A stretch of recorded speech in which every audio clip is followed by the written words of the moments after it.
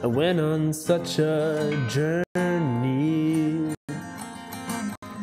from Vermont all the way to California. From being out inside my heart to seeing patches of the sunshine. From being lost inside the dark. From being feeling like I had a stabbed heart. Feeling like I wasn't there.